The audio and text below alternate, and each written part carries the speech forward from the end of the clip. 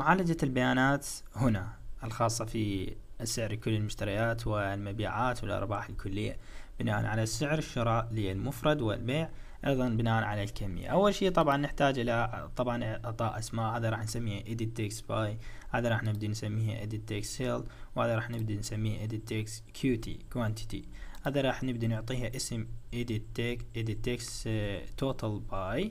وهذا راح يكون عندك ال total وهذا راح يكون عندك ال total بالنسبة للأرباح. طيب آه، أول شيء طبعا لازم نلتفت نلتفت إذا أعطى قيم zero مبدئيا.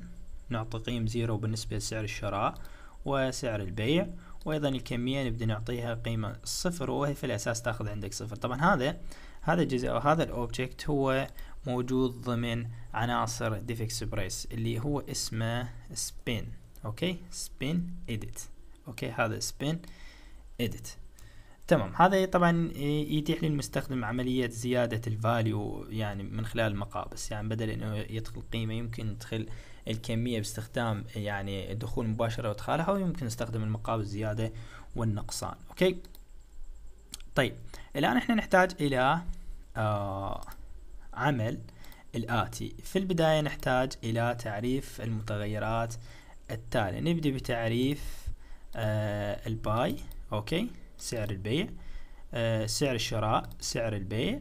وعندنا الكمية وعندنا سعر الشراء الكلي آه وسعر البيع الكلي وعندنا الأرباح. okay؟ كلها نعرفها على أساس تكون عندك إيش؟ double ثم بعد ذلك راح أبدي بعمل method هنا okay؟ داخل form هذه ال method راح نقول له هنا عندنا private uh, void. وراح نسميها pro calculation sell ثم بعد ذلك داخلها راح أبدي بوضع آه العملية حسابية وعملية بسيطة جدا اللي هي تتكون لك من إيش؟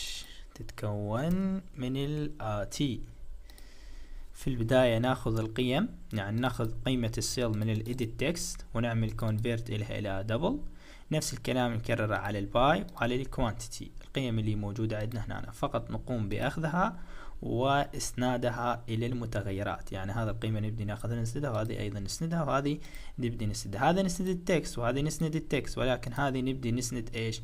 نسند ال value مالته باعتبار إنه إحنا إيش نأخذ؟ نأخذ value إذا إيش راح نقول له راح نقول له عندنا إيش؟ عندنا value مثل ما تلاحظ إنه عندنا value كلها نحولها إلى double ثم بعد ذلك راح أبدي بإيجاد المبيعات الكلية من خلال ضربها في الكمية. ضرب ال sell في الكمية يعطيك ال total sell. أيضا عندك هنا ضرب ال total ال quantity في ال buy راح يعطيك ال total buy وحتى نحصل على أرباح فراح نقول إحنا عندنا إيش؟ عندنا المبيعات ناقص ال buy. يمكن إنه هنا تنبه المستخدم أو تعطيه إشعار إذا كان عدد أو إذا كان سعر البيع أقل من سعر الشراء. okay؟ بالتالي راح تطلع عندك قيمة في السالب. okay؟ ثم بعد ذلك راح أبدي بإعطاء أو إسناد القيم إلى ال text view أو ال label اللي هي تمثل لك edit text بالنسبة t sell dot text أبدي اسند لها sell. ثم بعد ذلك ال buy ثم بعد ذلك هذه ال method أقوم باستدعائها داخل الأحداث الخاصة في التغيير. أستدعيه هنا okay؟ هذا أسميه مثل ما سميه edit text buy. أنقر عليه مرتين أعمل الحدث الخاص فيه وأضعها copy أضع هذه ال method copy okay؟ طبعا هذه ال method راح أبدأ أكررها على جميع الأمور آه على جميع ال events هنا. في هذا ال event أيضا. okay. ننقر عليه مرتين. ونضعه paste.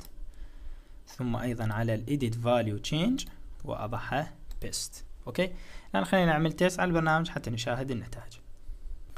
okay. الآن نفترض أنه عندنا سعر الشراء أربعمية وخمسين دولار مثلا وسعر البيع يكون خمسمية دولار. ثم ذلك عندنا عدد القطع اللي موجودة عندنا آه، في المخزن أو اللي اشتريناها هي عشر قطع.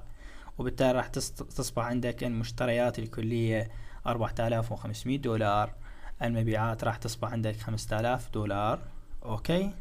ثم بعد ذلك تلاحظ أن الأرباح هي خمسمية دولار. إذا هذه تشتغل عندنا وبدون أي مشاكل سواء أنه هو زودت.